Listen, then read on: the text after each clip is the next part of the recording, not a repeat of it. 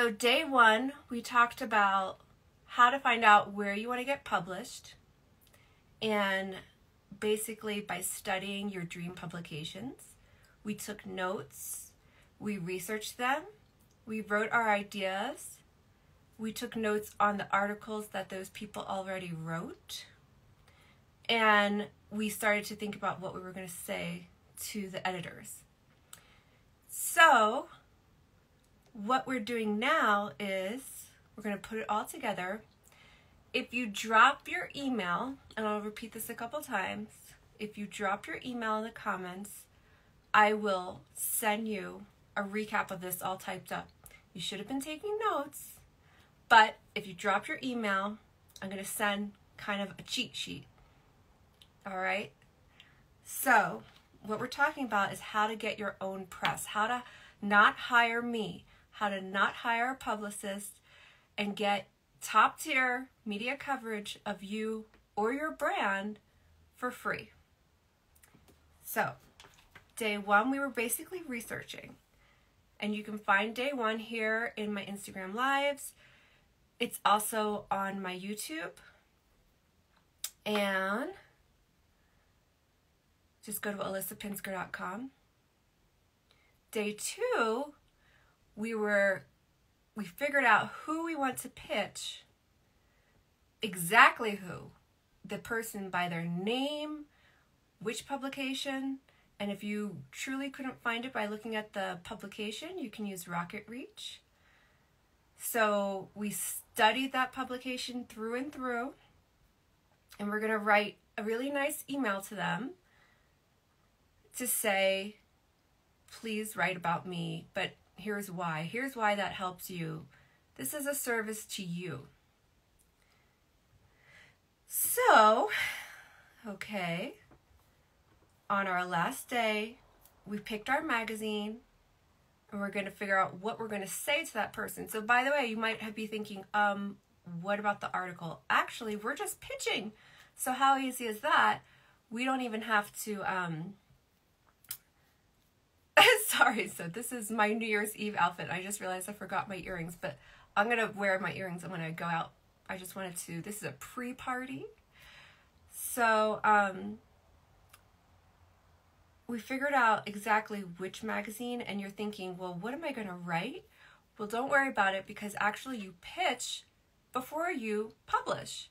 So you pitch the idea and then the editor is like, hmm, yes, I really need that. Um, that's a cool idea. But we don't have to be so revolutionary actually because the editors, they usually know exactly what they want and need. So again, let me just repeat, drop your email if you want this all condensed and written up for you in a little cheat sheet workbook. So you're not writing the whole article. Now I have heard non, I, I've heard publicists who are not also journalists like me tell you to A, write a press release and just send that to everyone. And you don't want to do that. You don't want to quantity, you want to quality. Um, by the way, this is, I know, a little, but this is a painting I made when I lived in Paris, of Paris. That's Mont, Montparnasse, which is a building near where I lived. And it just reminds me of Paris, and I'm going to Paris soon, so and I painted that like a long time ago. So you're not going to have to write the whole article. So you don't want to send one press release that says, this is me, I'm going to send it to everyone. Maybe that works. I don't recommend it. I think that that doesn't build relationships. It doesn't build relationships in the sense that the editor is going to remember you. Because what we're doing here is we're, we're planting seeds, we're building relationships. So don't don't just spray one press release and don't write the article first. In fact, it's good news for you. I'm going to write a note to myself to make sure to remind you all in your cheat sheet that you're not writing the article first. And the reason you're not writing the article first is because it's actually considerate of you to not write the article first because you're pitching it to the editor. You made sure that it fit in the voice. You're studying the voice of the magazine. You're learning the voice of the publication. And you're kind of guessing at it. And so, say you're going to pitch like 10 ways to blah, blah, blah, because you notice that this magazine always has articles about 10 ways to, and this is called a how to piece or a service piece. Once the editor's like, yeah, that's a good idea, the editor may have a little bit of tweakiness, like some, yeah, we can use that. Um, and they might be super specific, but I told you you should already study this. Yeah, 800 words. They might ask when can you have it. Try to do it in a week. Me, I'm a seasoned writer. I give myself two weeks because I'm a perfectionist and I feel like I can get away with that. But as a newbie, um, you're gonna want to say I'll have this to in a week max. Don't don't try less than a week though. I think you know because that's a whole other issue when we writing and rewriting and making it all perfect and stuff. But you can follow these same principles when you're actually writing the piece. The principles are that you're studying the publication and you're fitting into the voice of the publication. So you'll see, okay, well, they're all 800 words. I noticed that they write in the first person. I noticed that they start with like a narrative description. There's a lot of parroting here, and that's okay because this is not our novel. This is not our blog. This is us doing a service to this publication and giving them content. I don't like that word, but it's the new word content. Um, we're giving them free content and we're helping them out. We're helping out the editors at these publications because they need content. They have some staff writers, okay? Um, but most of them, some of them operate fully on freelancers. And likewise, magazines like Authority Magazine, the content they they kind of have like these pre-written um um interviews that are already written up and the content that you're providing is you're the subject. You're the interview subject. That's providing them a service. They're posting on helpareporter.com, which I gave that free tip last time that I charge um, a couple hundred bucks for to set people up in it and learn how to do this. But essentially, in a nutshell, helpareporter.com and my own group that I run where is full of journalists who are really, I you know jokingly said desperate, but they really need sources. So in the group that I run, um, a writer just posted, I need a, I need an art therapist by I think Monday. Well, my sister's an art therapist, so I I've referred her now. She may or may not be interested. But if you were an art therapist and you wanted to get press, because she has a lot of press already, that is you doing her a favor, right? So in this business of relationships, it's always about giving and then asking, but we give first, or we make sure that this is serving them somehow. Okay, so we basically got up to the part where you selected your magazine, you found the editor's email, you found exactly where you're going to write it, like what part of the magazine, and we're up to the part where you're going to, what do you say to them? I told you last time to even start thinking about a snazzy title. And how do you fi- figure out that title? Look at the other articles' titles. So you think of that snazzy title, and we already wrote basically paragraph one. So again, this is straight from my um, book called How to Get Published in Top Magazines, The Blueprint.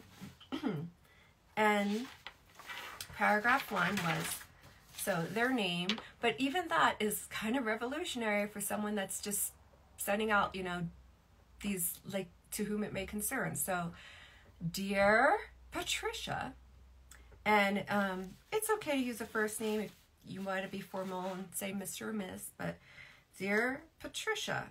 And what did we say to do? We said to read their work and say something that shows that you read their work. And so, therefore, it would be something positive. I loved your recent article on XYZ. This line was so lyrical and well written, or I feel like it's such an important service that you wrote this, and I love that part. It's less about relating it to you. Like, I also lived in Italy, but you can throw that in, but it's more about them and that you admire their work. Um, say they just published a book. Congratulations on your, you know, your soon to be published novel. So, dear editor, I I I researched you. I know who you are and I'm letting you know that. And I'm basically complimenting them. I'd like to pitch and maybe do the words just to show you know their stuff. So how many words? Well, read that art magazine. Okay, they all seem to be around 1500 words. I'd like to pitch a 1500 word article about. Now, if it's kind of like a service piece or a travel piece, you don't have to be that snazzy. But again, it fits into the language. That's why you're just reading this magazine over and over, 10 copies of it online, and it's like in your head about why Gen Z loves Italy in the summertime. Like, I just make these things up off the top of my head. I have um, examples from my students, I have examples from myself. I can, from my, my own mentor's book, which she basically published everyone's um, examples, and I myself am in there. But, um, so I'm, I'm just looking at her like do's and don'ts, which we'll go over at the end. So something like, um, I'd like for you, I'd, I'd like to pitch a 1500 word article on best restaurants of Florence. Yeah, that's good enough. Um, but if it's something more like you're a tech guru and something like why or how I went from a Mormon mother of five who never worked outside the home to a million, mil, the CEO of a million dollar tech company. That's a true story.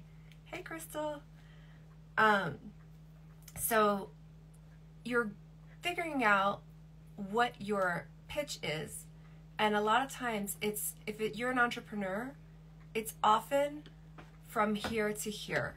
So from burnt out nanny to multi six figure business intuitive who made all her money you know who who from and i always say like something surprising like from sound bowls and tarot so this might sound hard to you, but when you, if you had read 10 copies of whatever your dream publication, say it was Forbes, then it would start to kind of get into your head and you'll see that that is kind of like the formula. Often for entrepreneurs, it's like, what's the big shift from McDonald's employee to billionaire CEO without who works four hours a week? Like, that's sort of surprising to people. Yes, good question. So at the end, I'm going to talk about like my packages. So this this whole uh, workshop is about how to get away without hiring me, how to be your own publicist. But if you hire me, I can help. And I do have a sort of a DIY package where it's more collaborative. So it's not like, all right, I'm going to do everything. I'm going to write everything for you. You just sit there and I interview you. There are packages where, and it helps you with your price, where you're gonna, we're gonna collaboratively. I'm gonna help you write your pitch, and I have helped many clients with that. Good. So we were talking about the first sentence, first paragraph, which is basically Dear Max, I loved your recent article. It was very detailed and interesting read because I'm writing you to pitch a 1500 word article about the Snowmass Balloon Festival this February. Now, here's the part that I mentioned last time. Now is about who you are. I am. So for me, I'm a travel, I'm an award-winning travel writer whose work has been appeared in BBC, Cosmopolitan, and New York Magazine. If you're not published, then you should, if you're a business owner by now, you should start to get to know your elevator pitch. That's what I do as well as a publicist, help you make your little elevator pitch. I'm, this was actually my client's because he had never published in my, in a magazine, but he had some success as a photographer. So I'm a professional travel photographer based out of Austin, Texas. I have a travel Instagram with over 16,000 followers and I've been asked to present my phot- photographic work at the invitation only Raw Artist National so- Showcase. So it's like kind of resume e. Basically, what's cool about you? Um, if we were pitching Crystal, Crystal's an entrepreneur. I'm um, I'm a multi six figure entrepreneur. I'm a former nanny who became a multi six figure entrepreneur who's, and I have been featured in. So it's either where you've written for or you've already been featured in. And Crystal's been in Voyage, she's been in Shadow, she's to be an authority, she was on Ticker News. She's so, um, this is something that you really should always think about, but you kind of can't make just one because you have an elevator pitch for when you're pitching an investor. You have an elevator pitch for who, if you're pitching a book, you have your packages, right? So this is a little specific to the editor. So, for example, if it's like a wildlife magazine, you would highlight your work in prior nature publications. So, I am, and make it quippy, make it short. In writing, it's always about how to say the most in the least amount of words. I didn't have the time to write you a short letter. So my process as a writer is I write it all out. I get it all out on the page. And then I say, how can I make this as short as possible? How can I make this all those details, but as short as possible? Um, and then thank you for your time and consideration. Make sure you have your name, your email, your phone number, your address, any, you know, make sure they can contact you. And if you have photographs, I can include high resolution photographs for this piece.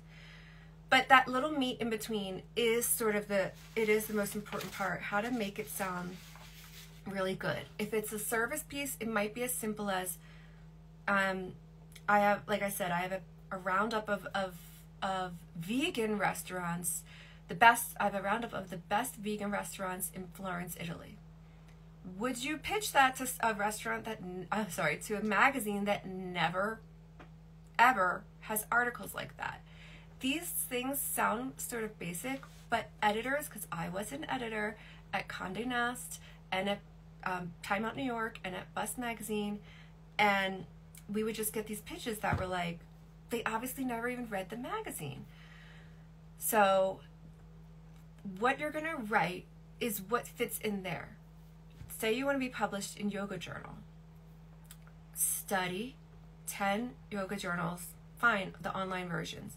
Start to be like, mm, I notice they always have a column, a little article that's like um, interview with a yogi or non-traditional yogis or spotlight on plus size um, yoga or whatever and you realize that okay i see a theme here so then when you're pitching it, either you have to make it interesting enough to be different from what they already have, but fit within that format. So that is the hardest part is like how to make it snazzy. And like as I said afterwards, you can then um once you get that all done, then you think about your title. And the title goes in the subject line. You can write pitch colon snazzy title. Now, say I gave you that person's name, I would write in the subject line, referred by Alyssa Pinsker. Always use your relationships. And myself, as a publicist, I have personal relationships with a lot of editors, and therefore, in my Rolodex, um, which is for sale on my website, and actually, it's um, it's a hundred dollars less um, we're not i'm not sure exact this is still the holidays technically so it's a holiday special So it's $3.97 instead of $4.97, which is an incredibly low price to pay for warm or even hot contacts of editors and journalists, mostly editors, because you want to go right to the source of who you want to pitch. So I'm not giving you permission to say Alyssa Pinsker gave me your name if you buy my Rolodex, but if you work with me, I may give that permission because I may feel like this is a really strong piece. I know this editor at Huffington Post. You can say I sent you. So I just opened up to find some more examples. Um, Dear Miss X, so and so gave me your email. I enjoyed her piece on blah blah and I've been in love with your magazine forever. I hope you consider my new essay, Caught in the Web, about my illicit link to my first lover's wife. I hope Adele's song Hello and Crazy Ex Girlfriend references make it timely. So this is dated, but that's a good pitch because, and it's not over, because it was a timely hook. That's what we call a, a timely hook, a newsy hook that was all the rage. Hello? Um, and Crazy Ex Girlfriend was like huge. When was that? I don't, 2000, I don't know. Um, so she said, you know, so and so give me your email. I love your piece. I love your magazine. I love my friend's piece. I write for the New York Times, Washington Post, Marie Claire, and Oprah.com. And I pasted and attached the essay. Um, so in this case, she wrote the essay first because she is she knows what they're looking for, and she, you you can attach it, but as a beginner, I would try not to. Um, just pitch first, and then she put like some of her best clips, and the end. And then she was saying that this ran in um, like five other publications because that's called syndication. So my stuff's been syndicated too, and it just keeps going. So what are some do's and don'ts? I I I told you to find them on social media and maybe follow and maybe heart some of their stuff, but don't DM them. Do not DM them there and be like, "Hey, can you publish me?" Maybe I'm old fashioned. So it's up to you, but I wouldn't do that. I I I don't like doing business through social media. Um, I like it in my email because I can organize it, and that that's just me as an editor. Um, read all the rules before you submit. It'll have very clear um, submission guidelines. You don't need to send a resume. You don't need to send photos. Don't multiple submit don't brag. Again, it's not like, hey, I'm really great. It's, hey, I love your work. Here's how I can help you. I have a piece for your magazine. And I said um, that um, publications have editorial calendars. That means like they already know what they're publishing and you can look them up, Google, Vogue editorial calendar. Um, so there's like always like the holiday gift guide then we have to talk about lead time. So publications like old school magazines, print, um, have about sometimes I would say three month lead time. Um, if it's only out four times a year, then it has um, a three month lead time. If it's a daily online, that has a very short, almost a daily lead time. So they're getting pitches daily, and that's fine. That's why I said give it a week turnaround. So don't write, you know, um, to whom it may concern.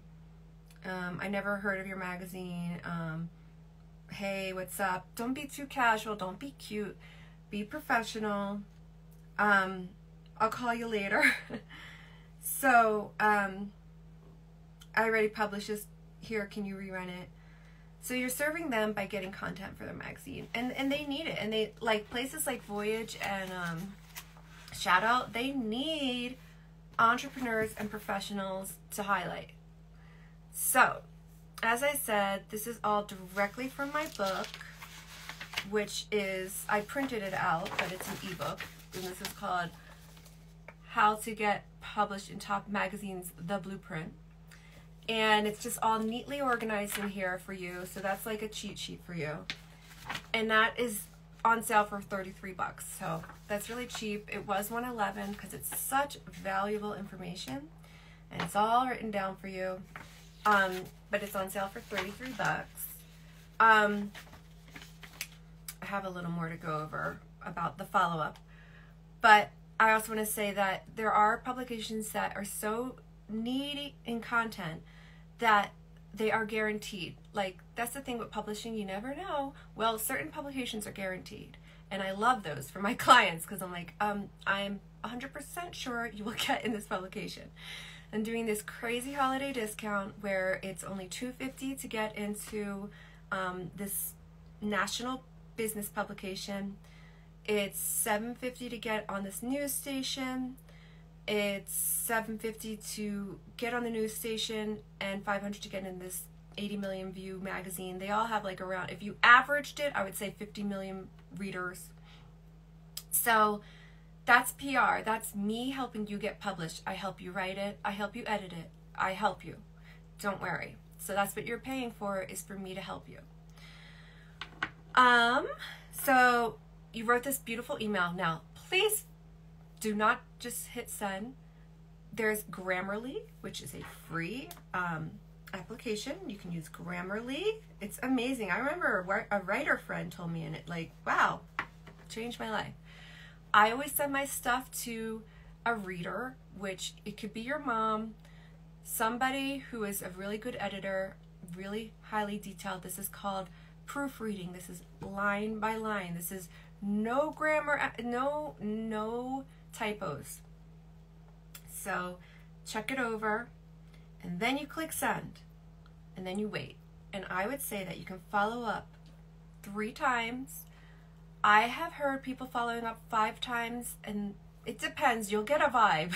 if it's like dead silence, um, but I think I followed up five times on one of my early pieces, like the Daily News, and like she was like, there was something going on. I think she had the editor assigned it and then she left. So, you know, don't give up. I say pitch until you get a no. Um, so when you check in, you're not like, hey, see below. You know, hi, you might want to start again. I read your latest piece about this. I was wondering if you had time to check out my pitch, X, the title. Thanks so much for your time and consideration. Please let me know if you need anything. Again, so when you're checking in, it's right there in front of their eyes, and it's not like see below or like a forward. When you get a forward, it's um, below. I have it has worked on me. This a little trick that um, has worked on me is the re, like re, like oh re, like that means that we're in a conversation regarding this. Um, so you could do re the title of your piece, and just keep following up until you get a no. Um, don't call them, email, uh, follow up every two weeks, um, uh, up to, I would say, five times max. And keep everything as short, short, short, short because they have like 10 seconds to read it. Pitch on Tuesdays and Thursdays. Um, that's when everyone's more free. I'm looking over my tips and tricks. Check how many words it is. Use an intro so and so give me your name. Uh, when you're writing the piece or even in your query, never use the same word twice. This basic, basic rule of writing is so valuable, life changing. And you'll notice that magazines do that. Like they'll even like not repeat the word woman. They'll be like ladies, women, um, gal pal, right? Did you ever notice that they do that in magazines? It's because we just blank out if we see the word more than once. So use thesaurus.com, synonyms.com, and never use the same word, even a noun. Never use the same word twice. There's a little um, repetitiondetector.com can I help you with that.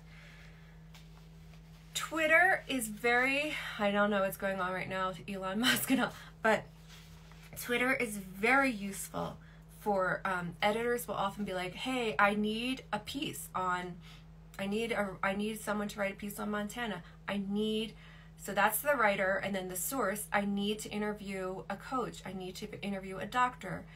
Again, being a source, you don't even have to write. And my tip again is to go to helpareporter.com and look for people they those are writers who need sources. They need to interview you, you the business leader. So they like say you own a nail salon. Um, I need to interview a nail salon. That's where you get you don't even have to write. So that's the um, if you hate writing, either hire me or become a source. And I, uh, as I said, I have a program to help if to help you with that because there's help a reporter. There's also uh, my own private group I run, where as I said, I saw today they're looking for an art therapist. My sister's an art therapist. Um, so on Twitter, people will be posting all the time. Hey, I need this. I need that. So you, how do you know who to follow? You read ten copies of National Geographic, so you notice that uh, her name is Starlight something, is an editor. Go follow her on Twitter. So you can follow them on Twitter, just like not so much DM. Personalize each pitch to the editor. Don't spam them like spam. I would say like just cut and paste and um, as we said, qual quantity versus quality. I'm teaching quality. Spell their name correctly. Oh my gosh, that's like I've opened it up and gotten my name spelled wrong, and these are people asking me for money. These are people who want me to buy their services. Always over, sorry, in the business, we have a, a common saying, you might have heard this in other businesses UPOD, under promise, over deliver. Be easy to work with, easy breezy.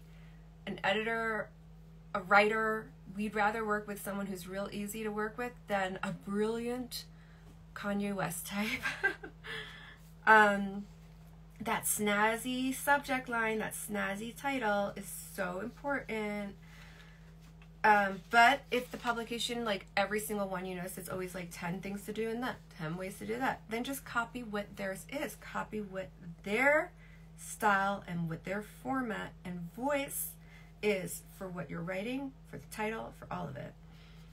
The subject line could be article pitch, snazzy title, article pitch, title. Sometimes I put the word timely because it is timely, like timely article pitch, timely pitch. Use 12 point font, double space Times New Roman. Like people in the writing world, media, like we care about that. Um, so no like cartoon font. Um, read the editor's work, compliment them. If you're pitching yourself, you use these methods. If you're pitching your business, you use these methods. So, what's the difference between PR and pitching yourself? PR is a third party, me. So, if you hired me as your publicist, traditional publicist, I'm pitching you.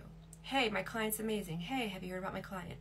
But I love doing DIY PR where we collab and I'm teaching you to pitch yourself. I, I think sometimes when you pitch yourself to a magazine, it is more powerful. Always be polite and respectful. Today's intern is tomorrow's EIC, um, and please research who you're pitching and the magazine. So, to summarize, step one, pick a topic, research the heck out of it, find the right person. Step two, write that perfect pitch. Step four, follow up. Okay, that's again straight out of my book, How to Get Published in Top Magazines, The Blueprint. You can DM me. DM me here um, because if you're not on my mailing list, please drop your email. So please drop your email so that you A, get a cheat sheet. It's not going to be this exact book, but a cheat sheet of what I discussed in these last three days in this free class. DM me, email me, info at alyssapinsker.com, go to alyssapinsker.com, here, Twitter, Facebook, reach out. I will give you the discount to get the book for $33 and the discount for some publications, which is 250 for Shout Out Colorado, which is nationwide, um, a television station for 750, um, entrepreneurial magazine for 500, and this mindfulness website for 750 which includes me helping you write the piece because you have to write something really good for for that one. For the rest you're just being interviewed. So i would say just have a consult with me. When you consult with me we can say okay do you want to write? Do you like to write? Some of my clients do. If not, then let's pick the ones where you're just being interviewed. And I will re- read that over before before um before you submit it. So happy almost New Year. Oh my God, tomorrow is New Year's Eve. So here's to 2023. I want to help you get published. Um, I help people get published in top tier magazines, them or their businesses. And I help them become travel writers like me to travel the world VIP. And I also, because I formerly, uh, I am currently still a model, but formerly an, an actress, but that's, I have auditions, commercial. Um, I was an on stage kind of what we call storytelling. Um, and storytelling applies to TED Talks, things like that. So, public speaking, I can absolutely help you tighten up your work. So, drop your email. If you're not on my mailing list, if you are on the mailing list, I'm going to send it to everybody on my mailing list. Is going to get the cheat sheet. And DM me if you have any questions. So, happy New Year, happy 2023. I'm to go walk Bean. He's been patiently waiting. Good to see y'all. See y'all soon.